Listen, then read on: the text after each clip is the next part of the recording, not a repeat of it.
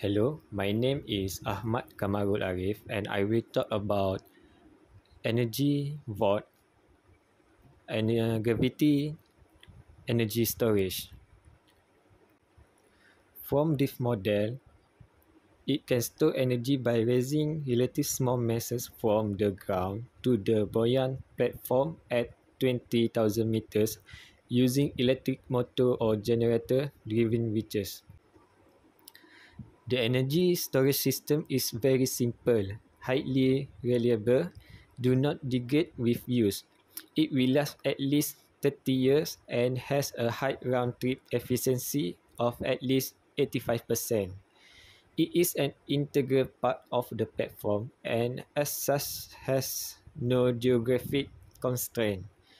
Storage color naturally with PV electricity generation in unit of about 25 megawatt per hour. The initial capital cost is about 125 dollar which is better than any available or planned energy storage technology and it will reduce in cost with volume production